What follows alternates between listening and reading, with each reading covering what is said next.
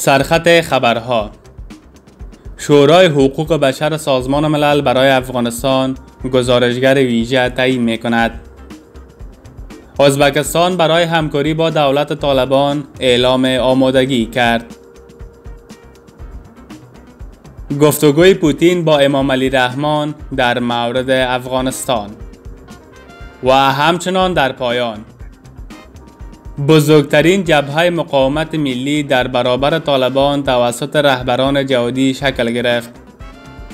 به نام خداوند بخشاینده و مهربان و با تقدیم سلام به یکی دیگر از ویدیوهای کانال جنرال انفو خوش آمدید. لطفا تا آخر ویدیو با ما باشید. شورای حقوق بشر سازمان ملل متحد با تعیین گزارشگر ویژه به منظور نظارت بر وضعیت حقوق بشر در افغانستان موافقت کرد. برای این منظور روز پنجشنبه 15 میزان قطعنامه توسط شورای حقوق بشر سازمان ملل با وجود مخالفت چین، روسیه و پاکستان تصویب شد. اتحادیه اروپا برای ایجاد گزارشگر ویژه جدید در مورد افغانستان تلاش داشت. لورد کنوتسن سفیر اتحادیه اروپا در سازمان ملل در جنوا گفت این یک گام اساسی برای اطمینان از نظارت مستمر از سوی یک فرد متخصص متحد و مستقل است و برای جلوگیری از وخامت بیشتر وضعیت حقوق بشر در افغانستان کمک می کند. سازمان عفو بین الملل هم از تصویب این قطعنامه استقبال کرده و گفته است که تعیین گزارشگر ویژه اولین گام مهم در جهت نظارت قوی سازمان ملل بر وضعیت حقوق بشر در افغانستان است. این سازمان گفته است که با توجه به شدت بحران حقوق بشری که افغانستان را فرا گرفته است قطعنامه امروز شورای حقوق بشر سازمان ملل پاسخ محکمی که از شورای حقوق بشر انتظار می رفت نیست. ازبکستان برای همکاری با دولت طالبان اعلام آمادگی کرد. عبدالعزیز کاملوف وزیر خارجه ازبکستان در سفرش به کابل با مولوی عبدالکبیر و مولوی عبدالسلام حنفی معاونان رئیس دولت طالبان دیدار کردند. او در این دیدار گفته است کشورش آماده است با طالبان همکاری کند. مقامات طالبان و از وزیر خارجه ازبکستان و هیئت همراهش در ارگ ریاست جمهوری پذیرایی کردند طبق اعلامیه اداره امور مولوی عبدالکبیر معاون سیاسی رئیس دولت طالبان با استقبال از هیئت ازبکستانی گفته که افغانستان و ازبکستان همسایه های نزدیک است و روابط حسنه تاریخی دینی و فرهنگی دارند. او از تامین امنیت کامل پروژه های ازبکستان در افغانستان اطمینان دادند و تاکید کردند که از قلمرو افغانستان هیچگاه تهدید بر سایر کشورها متوجه نخواهد شد.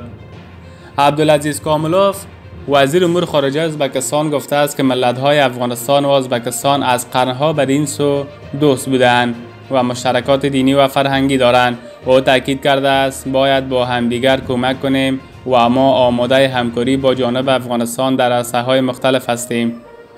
در اعلامیه اداره امور آمده است که کاملوف تجارب کشورش را برای رهایی از مشکلات و برقراری روابط با جهان با جانب افغانستان شریک کرده است. او گفته که ما اتحادیه اروپا و ایالات متحده امریکا پیام دادیم تا سرمایه های مردم افغانستان را که در بانک های بین المللی مزدود شدند دوباره به افغانستان واگذار کنند. وی آمادگی کشورش را به خاطر احیای میدان هوایی بین المللی مولانا جلال الدین محمد بلخی ابراز کرده است. ازبکستان تا کنون رسما حاکمیت طالبان را به رسمیت نشناخته است. کشورهای دیگر آسیای میانه به جز تاجکستان برای همکاری با دولت طالبان اعلام آمادگی کرده است. تا کنون هیچ کشور حاکمیت طالبان را به رسمیت نشناخته است. گفتگوی پوتین با امام علی رحمان در مورد افغانستان ولادیمیر پوتین رئیس جمهوری روسیه با همتای تاجیکستانی خود در مورد امنیت منطقه و وضعیت افغانستان تلفنی گفتگو کرده است. با گزارش خبرگزاری خاور تاجیکستان این گفتگو روز پنجشنبه 15 میزان انجام شده است. طبق این گزارش در جریان این گفتگو رحمان تولد رئیس جمهور روسیه را به مناسبت روز تولدش تبریک گفته است. پوتین و رحمان بر توسعه روابط دوستانه و مشارکت استراتژیک بین تاجیکستان و روسیه تاکید کردند. سران دو کشور در مورد جنبه های خاص همکاری های دو جانبه و مسائل امنیتی منطقه و اوضاع در افغانستان گفتگو کردند. روسیه و کشورهای آسیای میانه نگران گسترش فعالیت داعش در شمال افغانستان هستند. به دنبال تسلط طالبان تاجیکستان حضور نیروهای مرزی خود را گسترش داده است. از سوی هم اخیرا تنش میان امارات اسلامی در افغانستان و دولت تاجیکستان سبب شده دو طرف نیروهای خود را در نزدیکی مرز مشترک مستقر کنند. بزرگترین جبهه مقاومت در برابر طالبان توسط رهبران جهادی شکل گرفت. امین بابک. اعلان طرح مقاومت ملی از سوی رهبران سیاسی. محمد محقق در گفتگو با افغانستان انترنشنل. گفتگو بین خودش استاد عبدالرب رسول سیاف مارشال عبدالرشید دوستم استاد عطا محمد نور استاد کریم خلیلی محمد یونس قانونی و صلاح الدین ربانی روی طرح مقاومت ملی جریان دارد. آقای محقق تاکید کرد که احمد مسعود هم جز برنامه بزرگ این مقاومت ملی می باشد. رویدادهای مهم جهان ضربه لهستان به مسکو برای روزها سودمند تمام می شود. یک روزنامه لهستانی نوشته است که احداث کانال لهستان در دریای بالتیک برای روسیه سودمند است. روزنامه یادآور شد که تنها راه خروج از تنگه کالینیگراد تحت حاکمیت روسیه است. روزنامه مدعی است ایجاد یک کانال دور زدن تنگه بالتیک به نماد است غلبه نهایی وابستگی به مسکو تبدیل خواهد شد.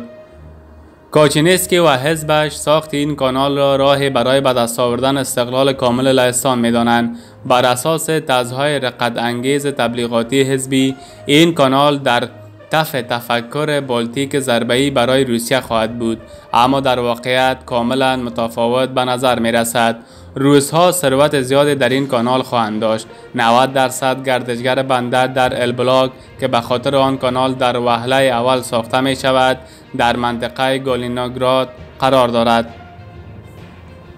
هشدار سوریه درباره حمله شیمیایی توسط تروریست ها تروریست در سوریه برای حمله شیمیایی آمادگی می گیرند به گزارش اسپوتنیک وادیم کولیت معاون رئیس مرکز روسیه برای آشتی طرفهای مخالف در سوریه می گوید که تروریست ها در حال آماده سازی حمله شیمیایی در مناطق شهرک های کانسفارا و کردا در سوریه هستند تا نیروهای دولتی را مقصر سازند. او تاکید کرد که این مرکز به مدت یک ماه اطلاعات را از منابع مختلف در مورد آماده سازی گروه های تروریستی هیات تحریر الشام با استفاده از مواد سمی در مناطق کاهش تنش ادلب دریافت کرده است. دوستان عزیز از اینکه تا این دم با ما بودید جهان سپاس برای ویدیوهای بیشتر و تازه ترین خبرها کانال ما را subscribe ویدیوهای من را like و با دوستانتان به اشتراک بگذارید روزتان خوش